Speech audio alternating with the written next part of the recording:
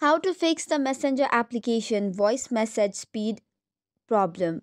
Hey guys, welcome back to the channel.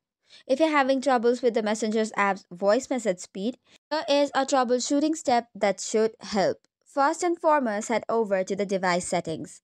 Once you head over to your phone settings, scroll down to applications or application manager.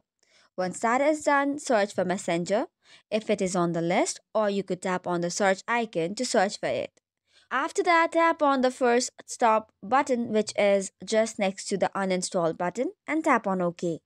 Head over to storage and cache and then tap on clear cache. Additionally, you can also ensure all the permissions has been given based on the needs. Now that this is done, head over to your device Play Store. For this, you can head over to Google Play Store and tap on the search icon. Type in Messenger in the text box and then search for the Messenger app. If there's an update button available next to it, tap on it and wait until download and installation is completed.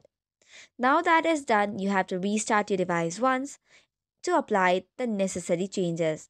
Now that you do so, launch the app again and your problem is solved. So that's it for today's video. For more such contents, do not forget to hit the like and subscribe button. Thank you and keep watching.